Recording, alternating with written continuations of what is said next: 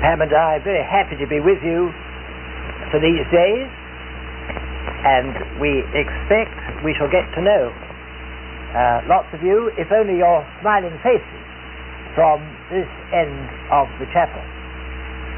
It's amazing how uh, accustomed one becomes to the same group of people, smiling back at one and responding to the message of grace, and one only knows how much one has appreciated and come to enjoy, let alone love, that group. When one goes to the next church, and we've got nine churches to go to on this tour, this is but uh, about five in the, or six in the number. We only know how much we've come to enjoy and love those people when we go to the next church and we find another group looking up at us. And it doesn't seem right. That seat there should be occupied by the face we've been looking at for a whole week, and so on. And we have to begin again to get used to another bunch of the Lord's people.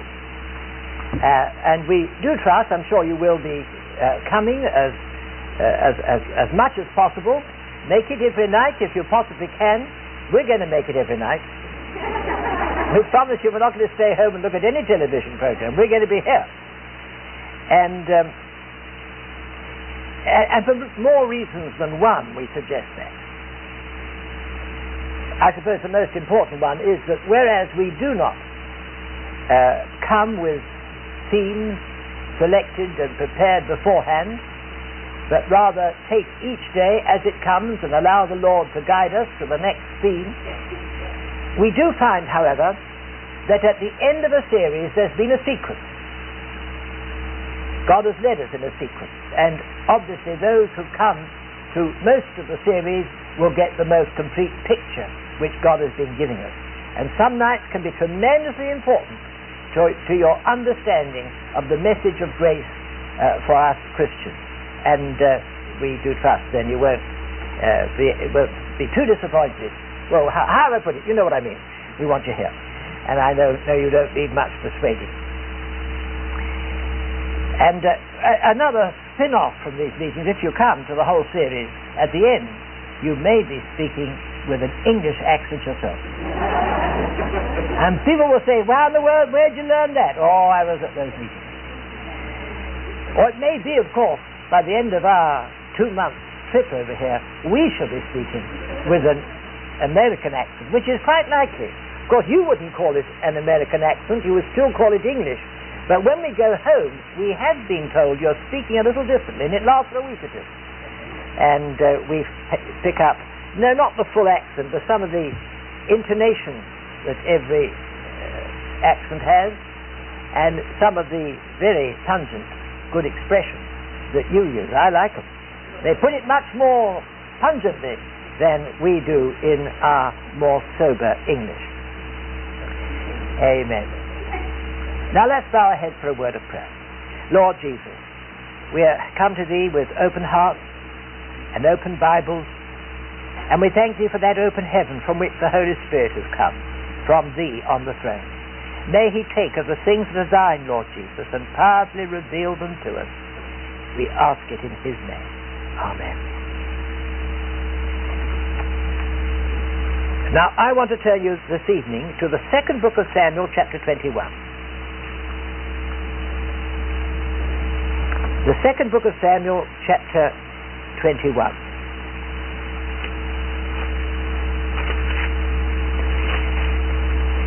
Now, I'm, I hazard the guess that we shall read an Old Testament incident which is fairly unfamiliar to you, and that you haven't perhaps seldom heard referred to, even, or expounded. But this incident is a wonderful illustration of the ways of God in revival. It's a strange thing that for myself, I find more stories, incidents that illustrate revival than I do in the Old Testament than I do in the New. In the New, you have the doctrines of the gospel in all its fullness. But as you look at God's dealings with his ancient people, and how often they're in great need and in need of renewal, we see in it a wonderful picture of God's people today. And there are seasons when there's been decline and when the fire has, ed, uh, has, has gone low, when God needs to revive his people again. And this is one of those incidents which can be taken as a great picture of the ways of God in revival. It's an incident in the days of David. David, at this point, at long last, has come to the throne. Saul, his predecessor, has been slain in battle, and at last he's on the throne. And at last, God has got a man on the throne whose ear he knows he can catch. Wasn't much use God trying to talk to Saul. He was deaf. He'd got right away, going his own way. But here was a man whose ear God could catch. And there were certain matters about which the Lord wanted to catch his ear. All right, then here it is. Just quietly listen, take it in, and see if you can see the main emphasis for us in this passage, even before I try to explain something of it. Then there was a famine in the days of David, three years year after year. And David inquired of the Lord. Yes, invariably that's what David did when there was something that puzzled him. When he needed instruction, he inquired of the Lord. And the Lord answered, It is for Saul and for his bloody house, because he slew the Gibeonites. And the king called the Gibeonites and said unto them, Now the Gibeonites, you remember that incident? in the book of Joshua. Now the Gibeonites were not of the children of Israel, but of the remnant of the Amorites. And the children of Israel had sworn unto them. And Saul sought to slay them in his zeal to the children of Israel and Judah. Do you remember the story of the Gibeonites? When under Joshua, Israel were coming in so victoriously into the land, and all the nations in their immediate path knew that they were doomed. Those were far well, Israel might well make some treaty with them, but not those in their path. They were destined to destruction. And a little nation, a little uh, tribe, I suppose, was the Gibeonites living around those parts. Right in Israel's path, thought of the route of sending messengers with old clothes and broken down shoes and food that they'd been supposed to have been taking with them for the journey, all dry and mildewy, mildewy, moldy. As if they'd come from a far distance, asking for some form of a treaty. And Israel did not inquire of the Lord. They just took them at their face value and said, well, there's no reason why we shouldn't make a treaty with them. They're a long way away. They're going to be no threat to us at all. And so they did and they discovered they were their neighbors. And because they'd made that treaty and given that little group an oath that they would spare them, they didn't kill them. They did, however, make them hewers of wood and drawers of water. You remember that incident? And the people murmured at their leaders. They're being so foolish, but they said, We've sworn unto them by the Lord, and we must stand by that. That was at least honorable. And that's how it continued. But apparently, we're not told anywhere else what happened. Saul, when he was king, in his zeal for the children of Israel, had massacred a whole number of those people and doubtless taken their palm for Israel. And the incident had passed. They were powerless to do anything about it, but they'd suffered a deep wrong. And not even God did anything about it, for the simple reason he knew he got a king on the throne who wouldn't listen if he did speak.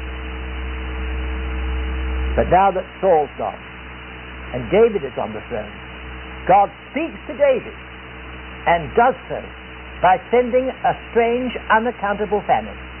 The rain failed. The crops failed. It happened one year. Well, it does happen, you know, said David, sometimes. That's how it is.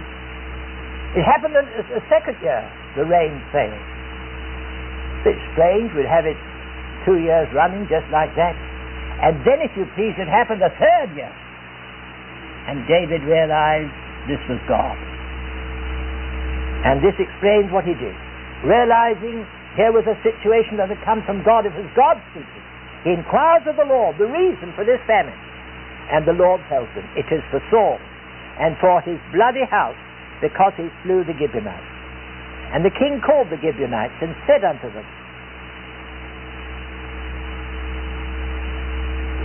Wherefore, verse 3, David said unto the Gibeonites, What shall I do for you? And wherewith shall I make the atonement, that ye may bless the inheritance of the Lord? Because of that wrong done before. And the Gibeonites said unto him, We will have no silver nor gold of Saul, nor of his house, neither for us shalt thou kill any man in Israel. And he said, What ye shall say, that will I do for you.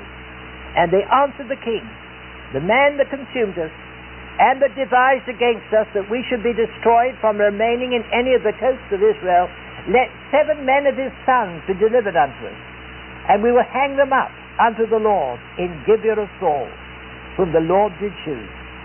And the king said, I will give them. It really is a bit gory, this story. Terrible. But that's the story. This is what happened. And David had little or no option. They just couldn't go on with the heavens as brass. And if this act of restitution was the only way by which their legitimate grievance could be met, by which God Himself could be entreated, then He had to do it. So he, he took seven of Saul's descendants to give to the Gibeonites. But the king spared Mephibosheth, the son of Jonathan, the son of Saul, because of the Lord's oath that was between them, between David and Jonathan, the son of Saul. But the king took the two sons of Rizpah, the daughter of Aiah, whom she bare unto Saul, Armoni and Mephibosheth, and the five sons of Michal, the daughter of Saul, whom she brought up for Adriel, the son of, son of Barzillai, the Meholathite and he delivered them into the hands of the Gibeonites. And they hanged them in the hill before the Lord. And they fell all seven together, and were put to death in the days of harvest, in the first days, in the beginning of barley harvest. And Rizpah, the daughter of Aiah, took sackcloth, and spread it for her upon the rock, from the beginning of harvest until water dropped upon them out of heaven and suffered neither the birds of the air to rest on them by day, nor the beasts of the field by night. They were hung up on trees before the Lord, you see. And it was told David what Rizpah, the concubine of Saul, had done. And David went and took the bones of Saul and the bones of Jonathan his son from the men of Jabesh Gilead, which had stolen them from the street of Bethshan, where the Philistines had hanged them, where the Philistines had slain Saul in Gilboa, and he brought up from thence the bones of Saul and the bones of Jonathan his son. And they gathered the bones of them that were hanged. While he was dealing with the burial of those that were hanged, he reminded himself of Saul and Jonathan, who hadn't been given a proper burial either. But the main purpose at this time was to deal with those bodies of those seven men hanging on the tree. And the bones of Saul and his son Jonathan buried they in the country of Benjamin, in Zelah, in the sepulchre of Kish his father. And they performed all that the king commanded. And, very interesting, after that, after that, God was entreated for the land. So there's our, our incident. And I take it to be an amazing picture of how things can happen amongst the children of God, of how us children of God may have a time of famine, even as David. As I suggested, the fact that there was a famine for one year didn't disturb David too, too much. He accounted for it on natural grounds. But when it happened three years in a row, David began to take this serious and to ask for what reason this might have happened. And he inquired of the Lord. I suppose the reason why God spoke to his people in the Old Testament often by sending them famine, which he did, was because they were never led to expect famine in that land. It was a land of milk and honey they were promised, a land of mountains, valleys, and rivers, where they would eat bread, they were told, without scarceness. And when they came into that promised land, they found it even so. But there were occasions when God, for reasons best known to himself, shut up heaven that there was no rain and there became a terrible famine in that land which normally produced food without any scarcity. And the reason for which God would shut up heaven was, was when his people departed from the law and turned to other gods or infringed his holy, beneficent commandments, as in this case. And then it might well be that if he shut up heaven that there wasn't any rain, then if his people who were called by his na- name would humble themselves and pray and turn from their wicked way, he would hear their prayer, he would forgive their sin, and he would heal their land. And so this is really quite Old Testament, uh, uh, it's quite usual in the history of God's people in the Old Testament. What I mean to say, we're really in an atmosphere. This isn't something extraordinary. They were dependent on heaven's rain. And it wasn't unusual for God to speak to his people through withholding that rain. Now, with us, with regard to ourselves, we were told, promised by the Lord himself, that he that came to him would never hunger, that he that believed on him would never thirst. Our experience in Christ was to be an experience of a land that flowed with milk and honey. We were promised that the water that He would give us, if we drank of it, we'd never thirst. It would become in, in us a spring of water leaping up into everlasting life. And frankly, if you've been born of God's Spirit, I'm suggesting to you that you found that to be exactly the case. You have found that the blessings of the gospel have not been overstated. In those moments of proximity to Jesus which you've known, you found the hunger of your soul satisfied. You found yourself rejoicing in Him. But there are times when perhaps you've discovered that there seems to be a famine in the land. A famine that isn't just one just a matter of your emotions changing. Oh dear me, I'm a bit uh, had a late night the other night. I'm not rejoicing much today. Maybe after a good night's rest I'll feel different. But this is persisting. And you may well have found there's a famine in your soul. You may well have found, well have found yourself in an experience where the Bible hasn't been speaking to you very vividly. If you've been reading your portion, whatever system of daily Bible reading you have, you've been doing it very much as a chore. It hasn't meant very much to you. You haven't heard from heaven lately. And the chances are that you will very soon quit spending time over a book that isn't living to you. And maybe latterly there's been a famine in your soul. Amos talks about the famine that God would send, even in Old Testament times. Not a famine of want of water or want of bread, but a famine, he says, of hearing the words of the Lord. And that's a famine indeed. You may come to church. You may partake of the means of grace, but be unmoved by them. Others are praising, others are melting. There might be a tear or two that others are shedding, but you are untouched. And I've known experiences like that. When my heart is cold and it's dry, and when the Word of God is not living to me and I'm not being touched. It may be that we've been finding prayer not meaningful. It's just been words. And as, and as a result, you've largely become prayerless. It isn't merely that you are negligent in keeping up with these important matters, But it is that when you did pray, you didn't get anywhere. So you tried again and got nowhere, and you began bit by bit to quit. And once again, it was because of this famine that had come and settled down in your soul. It may be in the matter of witness and concern for others. We haven't really been sharing Jesus with other people. We haven't really been looking for opportunities so to do. And I believe it's because we feel we've got so little to give. We know the way of salvation, we can mouth the words, but there's nothing of reality there. And this has, but this hasn't always been our experience. Perhaps latterly, there's been a famine in our hearts, and as persistent as was that in the days of David. It could be a famine, in David's case, for three years, year after year. It could be as long as that. Or it could be a famine for three months, month after month. Or it could be a famine for three weeks, week after week. Or it could be a famine for three days, year after day after day.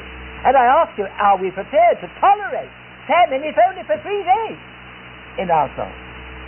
Well, David was not prepared for this state of things to continue, and bless his dear heart, he did this sweet thing that was characteristic of him. You can't help but love David for all his failures and faults. I love him. And when he was in this state, and, he, and in other situations he did it, he inquired of the Lord. And you know, quick as night, he got the answer back. It is for Saul and for his bloody house because he slew the Gibeonites. That little minority tribe had suffered a wrong at the hand of David's predecessor. Out of zeal for the children of Israel, he put some of them to the sword and appropriated their land. The incident had passed into history, but it had not been forgotten by God. And now that David, that God had got a king whose ear he could get, he spoke to him. Spoke to him by sending the famine, knowing that he had inquired of him and sending him the answer. And very often it's much the same with us. I wonder, however, if we're really concerned enough at the famine to inquire of the Lord.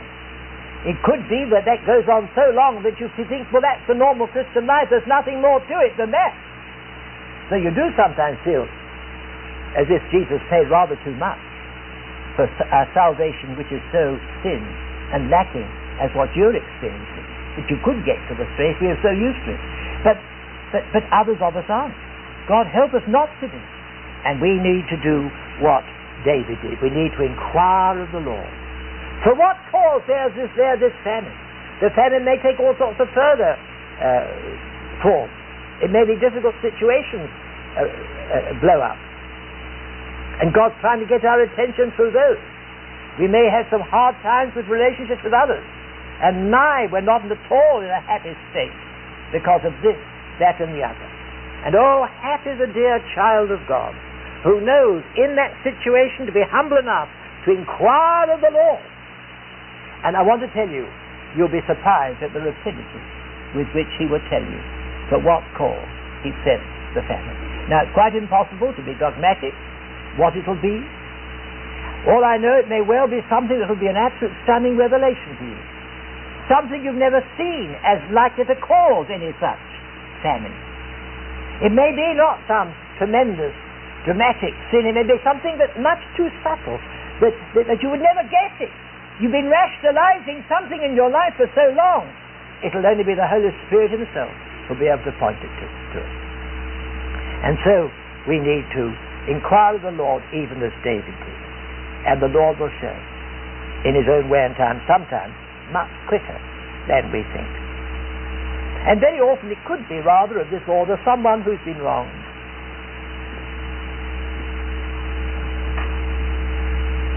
They've got a complaint against you.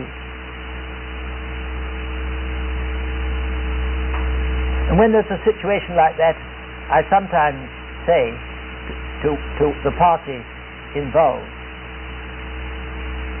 who complain of the antagonistic attitude of another. Tell me, if they were here on their own and I asked them about you, what would they say? Oh, you may not think they're right, they're true, but what would you say? What do you think they'd say? Tell me. And so slowly I encourage them to, to tell me what they think their opponents, whoever it is, would say. Well, I suppose you'd say this and that. Is there any truth in that? Come on, any truth? And you might, and, and they, you may well know that someone's attitude to you is all due to something in which they feel themselves to have been wrong, to be hurt, as did these Gibeonites. You know, the Lord's very compassionate towards those who've been wrong. Jesus has a wonderful name, especially in the book of Revelation. He's called the Lamb because it describes his disposition. He's always called the Lamb. It speaks of his humility his willingness to come down, to not to insist upon his rights. A lamb, you know, is the meekest of creatures. You can do what you like to a lamb. You can kick it, but it won't turn round and snap at you. It's meek, so to speak, and lowly in heart. That's why Jesus bears this wonderful title. There's another reason too, because he is the, the, the lamb is the uh, antitype of that lamb that was slain on the Passover night. But I think mainly because this describes his character. But there's, a, but there's a very strange phrase in the book of Revelation. He talks about the wrath of the Lamb. If he is so meek and yielding, if he humbled himself, if his, this name speaks of his beneficence to all and his gentleness towards sinners, how come you, do you have this phrase, the wrath of the Lamb? It looks like a contradiction. Oh, no, it isn't. It's because he is the Lamb that there is wrong. Because he is concerned for the poor and the needy and the oppressed, that he takes up an attitude of judgment towards those who oppress the poor and needy and make them poor and needy. It's just because he is the Lamb, he cannot but censure and deal with and have, so to speak, on the carpet before him any child of his who wrongs another. And thus it is you have this extraordinary phrase, the wrath of the Lamb. It's because he is loved for that one, he cannot but have dealings and talk to you when you are dealing with them harshly, wrongly, giving them cause for pain and cause to complain. And oh, Maybe many people never thought it didn't matter about those Gibeonites. They were an alien group in any case. We never should have made that promise to them way back, and their lands are very desirable. That, this is how Saul reasoned. And so he slew them and took their land. And people didn't think too much of it. But God had heard their cry. The voice of their blood was crying unto him from the ground. And when at last he got a man who would hear, he spoke to David about it. True, David hadn't been involved. True, David wasn't guilty of that deed. He didn't perpetrate the act, but he was now in a position to put it right. And it could be sometimes happen that sometimes God does that sort of thing. Sometimes there's been trouble between families. It was your dad or your mum who was involved with that other family. You didn't do it. But although perhaps you didn't do it, you may be in a position now to put it right. And sometimes God might speak to us about something like that. And here am I in my time of famine. I'm concerned that God's smile doesn't seem to be upon me these days. And I inquire of the Lord, and He could be very clear and very specific about the reason for which this has taken place. As I say, it's quite a revelation sometimes. Only the revelation of the Holy Spirit can show that reason for which He has seen fit to shut up heaven, that there isn't any rain. The reason being to bring you to inquire And He shows us what it is He wants to speak to us about. And so David has no option but to go to these Gibeonites. And he found what he'd been told. They were indeed still bitter about that thing. David have said, oh, it's all in the past. They've forgotten it. They had done nothing of the sort. He was shocked at the extent of how strongly they felt. They had no, no possibility of doing anything about it. But God had acted on their behalf. And here comes this king to them, recognizing that a grievous wrong had been done against them. And they were happy, perhaps surprised at this turn of events. And he said, What must we do for you? Wherewith shall I make atonement, reconciliation, that you may bless the inheritance of the Lord? Because this wrong has been spoiling our inheritance, has been cursing the inheritance of the Lord. What must we do? What will satisfy you? And they said, We will have no silver or gold from Saul. Neither shalt thou kill any man in Israel except that you give us seven of the descendants, seven of the sons of the man who perpetrated this thing for us, and we will hang them up before the Lord in Gibeah, where Saul used to live.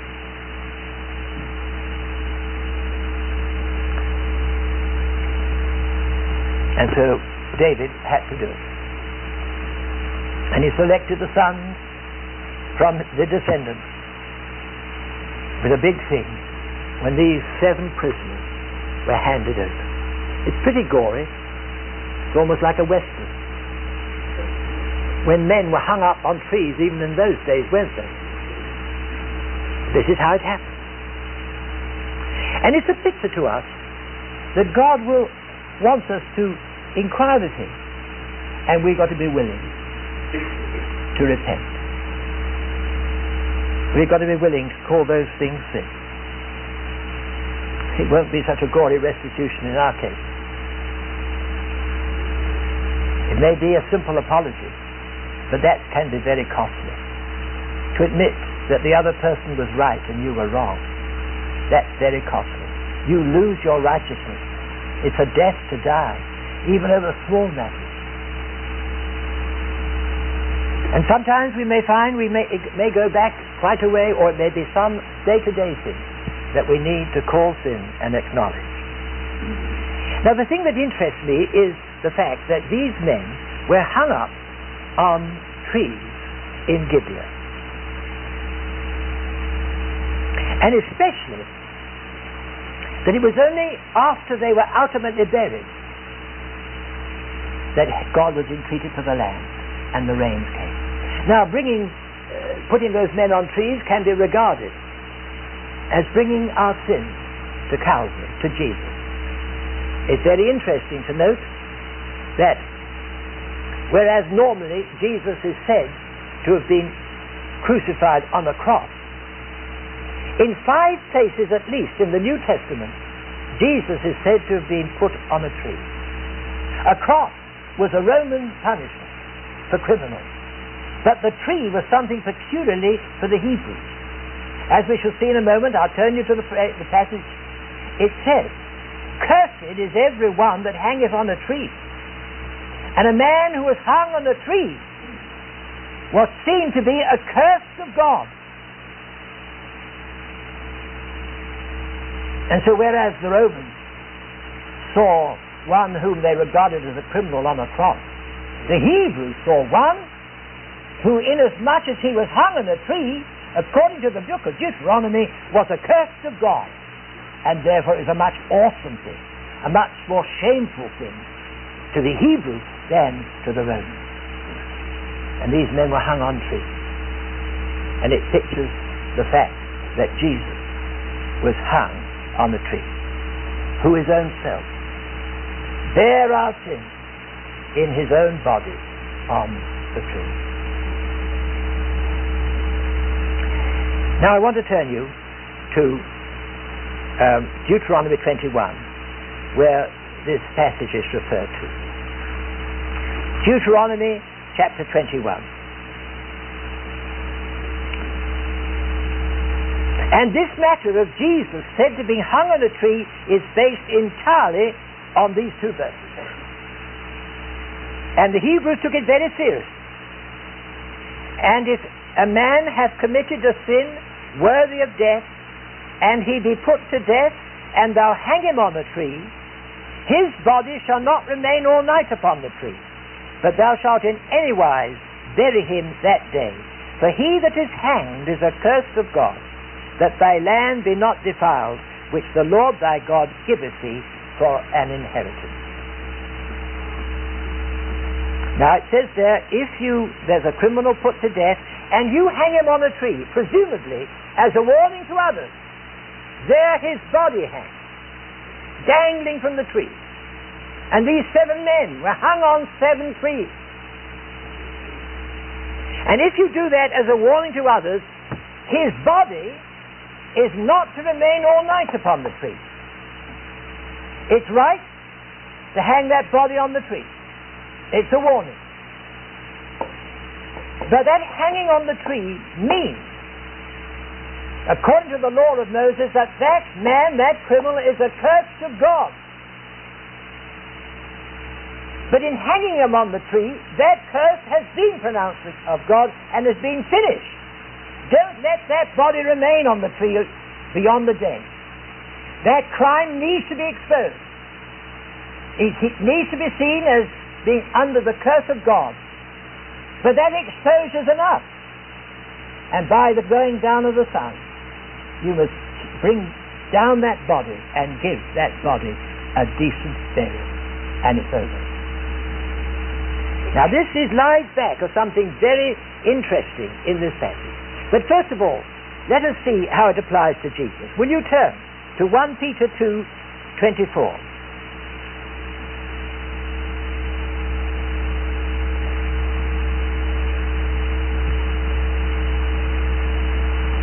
who his own self bare our sins in his own body on the tree. Just those phrases. Who his own self bare our sins in his body on the tree. Now, literally, and the Revised I think helps us, one of the revisions does, it is this way, who his own self carried up our sins in his own body to the tree. Our sins needed to be exposed to the curse of God, to be shown what they were. That's right. That's proper. And that's what Jesus did. He carried up our sins to that tree as a symbolic act of showing that our sins were, were under the curse. But the beautiful thing is this. It says, who his own self did it. It wasn't some angelic garbage man that took this foul net to the garbage pile and had it exposed to the curse of God. It might well have been given, this distasteful task, to someone less than the Son of God, but it was his own self did it.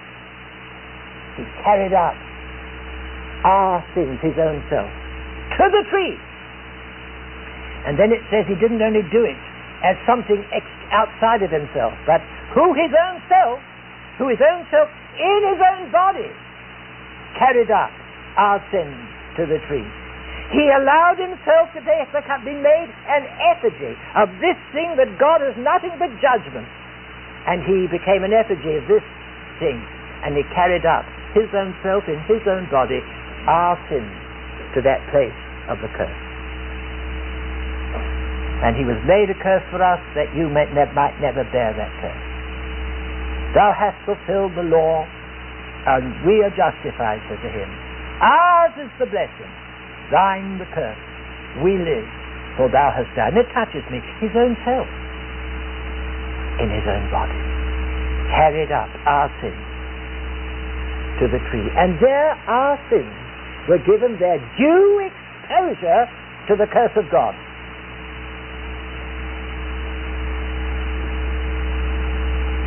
But that exposure was enough. That curse had been fulfilled. That curse had been fulfilled. Therefore, he had to be brought down. And that's why the Jews were so concerned that he should be brought down. They knew the law of Moses. Although they were doing a dastardly deed, they were scrupulous still about the minutiae of the law of Moses. And they were concerned that his body should not be on the tree beyond the setting of the sun. And it was convenient that Joseph of Arimathea was wanting to bury him. But the deep meaning is this that exposure of our sins to the curse was enough. It doesn't need to go on and on, hanging up there. He was buried. Now come back to this story. And this has a great deal of meaning for us when it comes to this matter of revival. Now you would have thought that if they had repented, if David and the nation repented of that for which God sent the famine, and they had carried out this solemn act of restitution, and the Gibeonites were satisfied, that that would have been the end of the matter. And the rains would have begun to come again. But they didn't. Day after day, those bodies swung from the trees. And the mother of one of the boys, whose body was there, took a rug and she sat on the rock to protect those bodies from the vultures. And she was all the time protecting them, protecting them, poor thing. And they went on and on. And the rains hadn't come. And David knew that there were things still not right. And when he heard the pathetic story of that mother protecting the bodies from the vultures and the birds of prey, he realized what he failed to do. He had not obeyed the law of Moses. And so he took down those bodies and their bones and buried them. This should have been done after the first day. realized what he failed to do. He had not obeyed the law of Moses. And so he took down those bodies and their bones and buried them. This should have been done after the first day.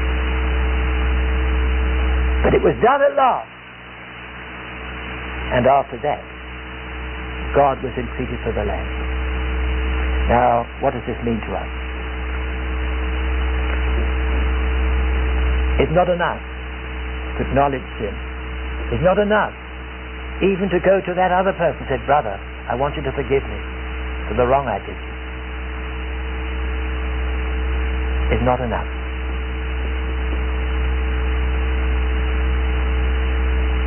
It's not enough to hang that thing up on the tree and to have it dangling over your head. That sounds very humble. Never to forget it. Always to be chastening yourself. But that's not revival. You've got to see it, I've got to see that that exposure that was accomplished in Jesus, that exposure of my sins that happened in Jesus at Calvary is enough. It was accomplished. His body was taken down. And I've got to believe the same. And I've got to, so to speak, cut down that body and give it a decent burial. It's already had its curse. There's no need for it to dangle there any longer. And it's only when that takes place in experience, when you're, you come out of being haunted forever by that failure, why, when you dare to believe that Jesus did it all, it was a finished work and you needn't crash yourself any longer, that then joy comes and peace. And when the Lord sees us at last uh, at rest about those things that have caused the famine and rejoicing in his forgiveness, that then he's entreated for the land and the blessing and the rain returns again. I want to tell you revival isn't merely the saints being broken or the saints repenting. It's the saints comforted and made happy again. Oh, they've been honest about things. Oh, yes, they've perhaps taken humbling steps as the Spirit has shown them, them a relationship which wasn't right, a thing that wasn't straight. But that isn't enough. Because even after you've asked another to forgive you, you can still be taking a stick to yourself. And you still haven't got a testimony. You daren't really give it to the others. You daren't say anything. You say, if I really told the truth, what would people think? And we've not got through to that place. The old bodies are still ha- dangling from their trees. But in Jesus, they've been cut down. They have been buried. What's that uh, lovely gospel hymn? Living, he loved me. Dying, he saved me. Buried, he carried my sins far away. And it's when I come into the good of that, I begin to rejoice. And then God is entreated for the land and the blessing returns. I just want to backtrack a little bit. Uh, Pam is going to add something from her testimony in a moment. But I want to backtrack on something about these things that have caused God to shut up heaven, that there isn't, any rain. You know, when we talk about sin in the life of a believer, we may get the impression of some matter in which the believer has deliberately sinned and indulged and enjoyed in doing it. Well, it may be, there may be cases like that which need confession and forgiveness and cleansing. But in practice, it isn't quite as obvious as that. Very often it happens that a person is getting on with their business, minding their own affairs, and they've got certain desires, certain ambitions, and to get those ambitions fulfilled, they may not be illegitimate. He does something. Not ethical. Oh, he doesn't enjoy the doing of it, but it's that that he wants. But in the process to get that, he has to wrong another. Do a dirty, trick tricky business. It may be in order to push ahead. I don't know. It could even be with one's child's progress at school. I don't quite understand. Every country has a different system. But there may be some, you'll have to uh, see if this, identify this. Could there be that parents have to make certain declarations about certain things, and they're so anxious for the best for their children that that declaration isn't quite true? Could it be that a student is so anxious to get through that exam that he isn't quite honest in the matter? In the matter of cheating? He, he, he's, oh, I do love to cheat. Let's have a nice bit of cheating. Oh, no, nothing like that at all. He does want to get on. A man in business does want to get on. And in the process, something is done. That's the sort of thing I believe is illustrated here. It was out of zeal for the children of Israel that Saul did this thing. Maybe he wasn't all that bloodthirsty. Didn't do it because he liked to have a nice day's slaughter, don't you know what? Not a bit. But he did want those possessions. He wanted them for Israel. And I know in my own case how easily I would say I, I could have done something, so to speak, on the side. I don't know whether I'm explaining myself very clearly, but I think you're getting it. You will understand when, when I tell you the story of uh, publishing a book. And I had a book, a manuscript that I didn't think that the publisher that I would have liked to have had it would want it. The greatest, they were the most important publishers, but I hadn't got the faith to offer it to them. And so I offered it to a, a minor publisher and sent it to him and didn't hear. It took them some time to read the manuscript. But I was so anxious to get an opinion on this manuscript that I thought, well, I will show this manuscript to the other publisher. Now, in sending it in the first place to the smaller publisher, I'd said, now, uh, I'm offering it you, I'm not really seriously offering it anywhere else. And I virtually gave them what we call first refusal. But because I was anxious to get an opinion, I did go to the, the friend of mine who was the head of this larger publisher for an opinion. And to my surprise, it was so well received that in a few days I received a letter accepting it and offering a contract with very favourable terms, more favourable than I had known before. But I'd already offered a first refusal to the other man. But he hadn't answered three weeks. I hadn't got a line. You can wait, wait longer than that, I can assure you, to get a manuscript read. And here I was, a clear-cut offer. But I'd already offered to a man, and I don't think he'd even read it. And oh, I did want to reverse that. Oh, I'd made up my mind I'd like to do that. And so I called that smaller publisher. I said, Have you read that manuscript yet? No, not yet. Well, I said, I've already had a very un- uh, unexpected offer from the other. Uh, I'd really rather like to take it. He said, This is no way to do business. You gave a first refusal, and I knew I didn't dare go any further. But I couldn't have. Very. And broken that first offer for the more favourable one later on. In the realm of real estate in Britain, we call that gazumping. I don't know if you have some such phrase.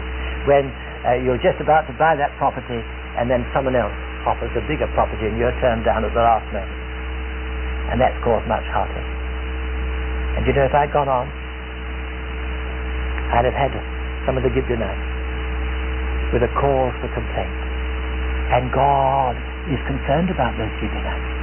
He would have seen a wrong was done, a word was given and broken. And in any case, he gave me that word about in one of the Psalms, Psalm 8 is it? It talks about who shall ascend into the hill of the Lord. And one of the qualifications is he that sweareth to his own hurt and changes not. And I'd sworn. Yes, it appeared to my own hurt. He said, don't you change. And God gave me grace. And I withdrew it from the larger publisher. And good relations have continued to this day. And that book is going to come out very soon. The American version in a matter of months. You see what I'm getting at? We may not get the point. You see? it's these sort of sins, you might almost say done in ignorance, not really. It's not because you said, now let me really have a chance to, to tell some lies and break some promises. Oh no. It's because of certain gains they're seen. And although you can get away with it down here, as one in glory who hears the cry of those who've got a cause of complaint. I give one last illustration of this sort of thing.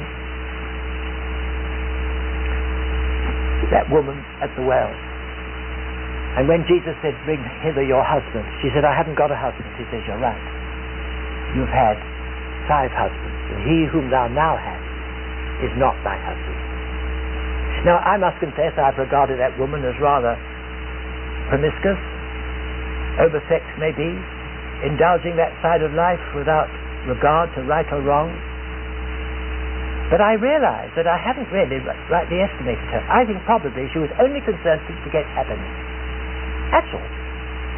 And the first, that first man, she was sure she could have a happy life with him. But he proved a disappointment. And that marriage came to an end. And there was another man. Each time she wanted only, only happiness. And all five had let her down. And then there came a sixth. Ah, she said, here's the one. But the trouble with this sixth was that he was he was married. And that was the point that Jesus picked up. You've had five husbands, and he whom thou now hast is not thy husband. He's somebody else's husband. And to get that bit of happiness, you have wronged another woman. Jesus wasn't objecting to the five. If they were straight marriages, they were straight marriages. But what he did take her to task was she had robbed another. She played the game that Saul did, wronging somebody else for some other gain. He whom thou hast is somebody else's husband, and somebody else is living alone, and somebody else is weeping at night. And you've had it. And she couldn't get the living water until that was confessed.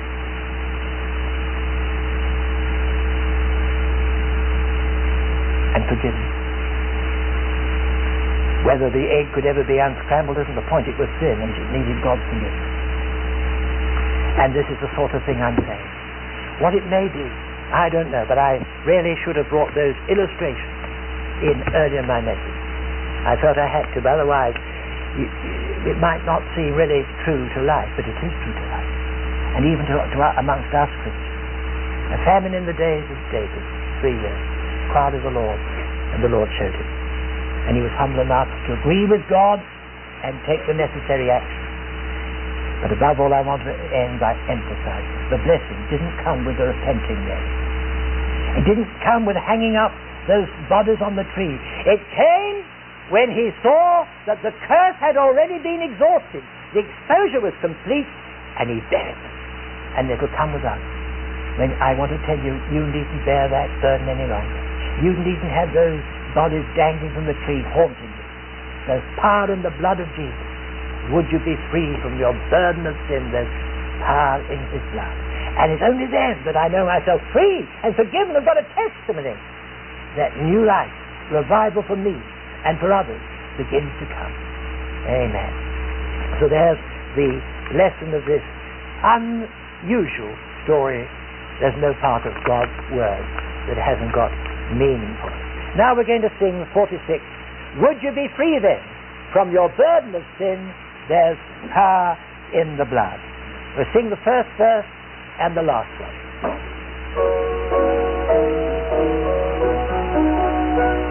Let us stand.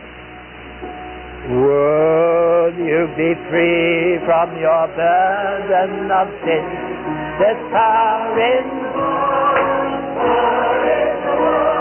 Would your evil a victory win? There's wonderful power in the blood. There is power, power, wonder working power in the blood of the Lamb. There is power, power.